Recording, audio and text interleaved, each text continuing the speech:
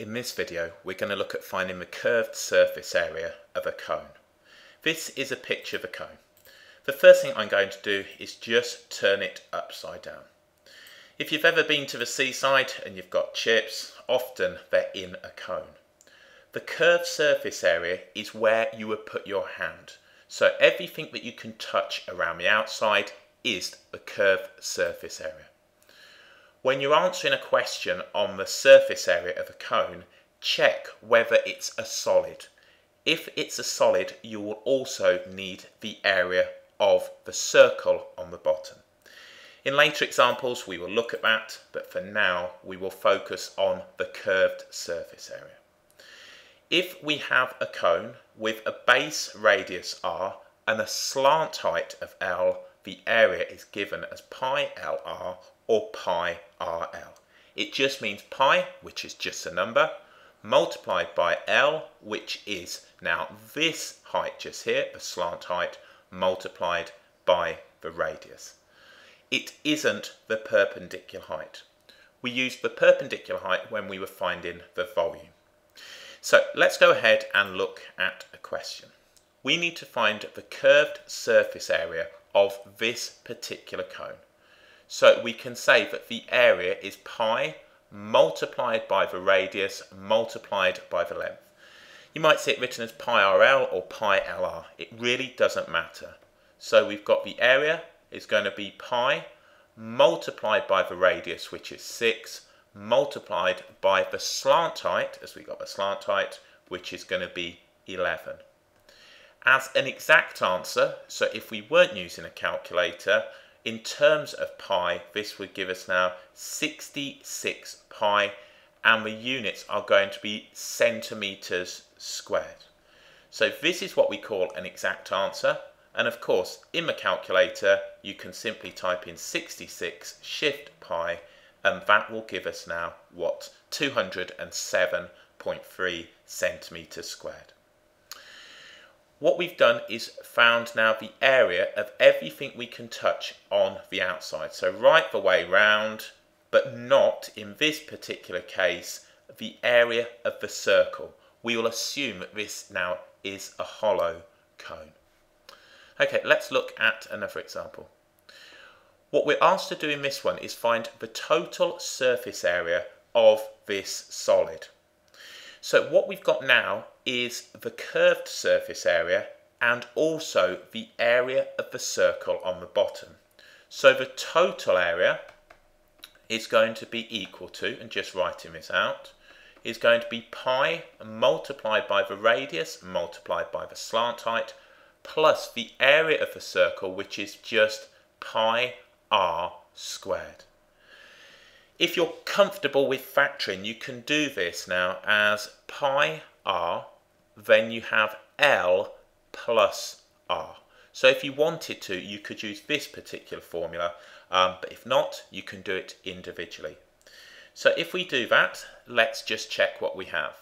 Well, we've got now the slant height rather than the perpendicular height, which is good, and we've got a base radius. So we'll have pi multiplied by the base radius of 5.2 multiplied by the slant height of 13.9 plus now pi multiplied by the radius squared, which is going to give us 5.2 squared. So we can go ahead and simply type this into a calculator. So with the calculator now, we can hit Shift Pi, and then we've got now the 5, and you can use brackets or the multiplication sign, it really doesn't matter. Then we've got 13.9, and then we will add to that now pi, and we will multiply that now by 5.2 squared. And that is going to give us now on there 2483 over 25 pi. So this is our exact answer, or 312. So 312 and I'll give this to the nearest integer and this will be millimeters squared. Remember this is an area so whatever units are it will be squared. If we'd gone for this factored approach what we would have had is now pi multiplied now by the radius which we know is 5.2 and then if we just, and loads of different ways you can type this in, and then we would have 13.9, which is L, the slant height, plus now the radius, which is 5.2, and that will give us exactly the same as we've just seen. So there we go, 312 millimetres squared. Okay, on this one, we need the curved surface area. We've got an issue here though, because instead of the slant height, we've got the perpendicular height. As we saw in the video with the volume of a cone, we can use Pythagoras theorem to work this out. So what I'm going to do is just, and that looks a little too long as before, we're going to drop a perpendicular down from the top of this cone to the centre. This is what we call a right cone because we have now a right angle between the base radius and the height. If I drew a cross section of this, what we're going to have is something that looks like so. I'll put the dimensions on and it'll give you some idea of what's going on. So that looks something, not a brilliant triangle, but hopefully you get, uh, get the idea of what's happening. So we have this right here, which is going to be the right angle. We have the base radius, which is given now to be 6. We've got the perpendicular height, which is 8. And what we need to do is find the slant height. Using Pythagoras theorem, a squared plus b squared is equal to c squared. The sum of the squares of the two shorter sides is equal to the square of the longer side. So what we can say on here is that 6 squared plus 8 squared is equal to L squared. If you've already spotted that this is one of our special triangles, it's going to be one of our triples, that's perfectly fine. If not, you can keep going using Pythagoras theorem. So that gives us now that 100 is equal to L squared. So L is going to be the positive square root of 100 as it's the length. So L gives us 10. So all we need to do now is write that the area is pi RL. We need the curved surface area, it's not the solid, so I don't need to include the circle on the bottom. And the area is pi multiplied by the radius, which is 6, multiplied by the slant height. And the slant height, as we know, is going to be this right here. Or if you wanted to look at it as a right angle triangle, probably a bit better there. Um, and then we just put in now that this is going to be 10 so we can say that this is going to be 60 pi. So we've got 60 pi and that is going to be meters squared. On the calculator, type that in, hit SD and that will give you the value as a decimal. As stated, I always prefer to leave it in what we call exact form in terms of pi. I just think it looks neater and it's easier to work with when you don't have a calculator. Okay, um, on this one, curved surface area is 189 centimetres squared. We've got a radius of 6 centimetres and a slant height now of y centimetres. So all we're going to do here is find the value of y, which is the slant height. So the area is equal to pi RL or pi LR, really doesn't matter. So substituting in 189 is equal to pi multiplied now by 6, which is the radius, multiplied by y. Pi is just a number. What this is saying is pi times 6 times y is 189. Therefore, we can say 189 divided by 6 pi, or pi times 6, will give us the value of y. So all we've done is simply solved an equation. If I said, for example, 6 is equal to 2x, well, we know that 6 divided by 2 would give us x. So if this quantity, 6 pi is multiplied by y to get 189, then 189 divided by 6 pi is y. So we can, uh, we can find this as a decimal answer. I'm not going to because I'm going to keep it exact and say that the area is going to be pi multiplied now by the radius, which is 6, multiplied by the slant height. Uh, oh, in fact, we've done it, haven't we? We've answered the question. I don't know why. Don't know why I'm bothering doing that. We've done it. Y is equal to this. Um, uh, yeah, don't need, don't know why.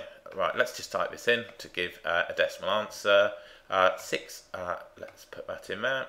Uh, delete uh, 6 pi, and then that will give us what we need.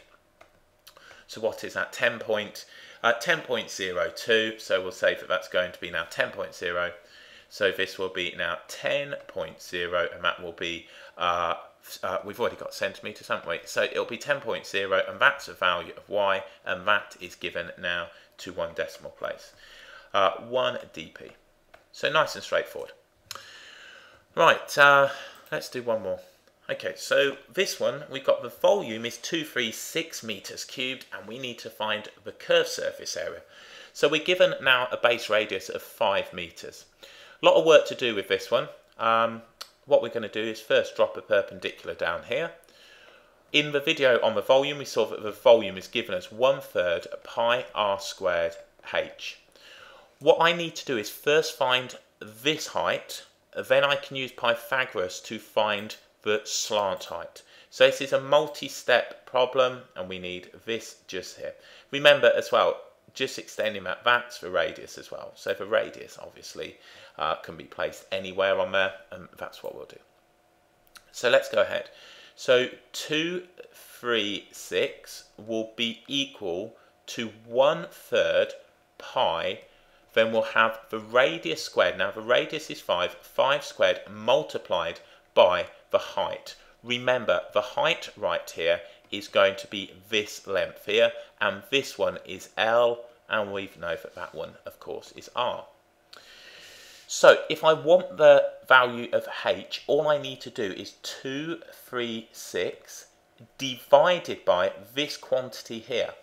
So 5 squared is 25, so this would be 25 pi divided by 3, and I can do that in one hit.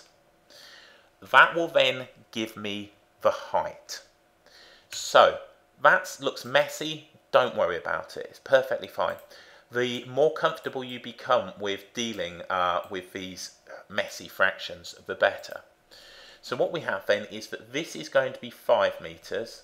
This one right here, we've just found the, the perpendicular which is 236 over 25 pi over 3 and we need this one which is L. So yet again we can use Pythagoras theorem to find that. We know this squared plus this squared is equal to this one squared. So L squared is equal to 5 squared plus all of this uh, just here squared. If you want to find an answer on the calculator for that, you can do. I always think to myself, what I'm going to do is type that in and just store it in case I need to come back to it. So with this one, we'd have 236, and we would divide this now by 25 pi by 3. So 25 pi by 3, and that gives us now this 9, whatever. Shift store A will store it in there. So let's say you did another calculation, 6 times 3 gave you 18, and then you did that. If you wanted to find that answer again, you would simply press recall A, and it would bring it back. That's what it is. That's that value right there. So what I'm going to do, L is going to be the square root of 5 squared, which is 25, plus this value squared. Um, and whatever it's going to be, but I've got that in the calculator. So let's go ahead and do that. So what we'll have is 25 plus, and of course you don't have to do this, you could just simply substitute that in earlier. Uh, a squared, which is this value right here, and that gives us now 10 uh, 10.30. So L is equal to, L is equal to 10.30, blah, blah, blah, blah. So if we want now just the curved surface area, so we don't need the bottom, that's pi multiplied by the radius multiplied by the slant height. So we're going to have the area is going to be pi multiplied by 5 multiplied by what's in the calculator as my answer, dot, dot, dot, dot, dot, and then we can find that answer. So if I just multiply this now by, we can do it by 5 and times pi, or you can just do it by 5 pi. Uh, these calculators are quite forgiving in terms of multiplication, uh, in terms of how you use the signs and the brackets. So 161.9. So 161.9 to one decimal place. And remember, this is in meters, so our curved surface area will be in meters squared if you did need the total uh, surface, uh, total area of the solid, including the bottom, then you would simply add pi r squared, where r is 5, the area of a circle. So there we go. That is the curved surface area of a cone.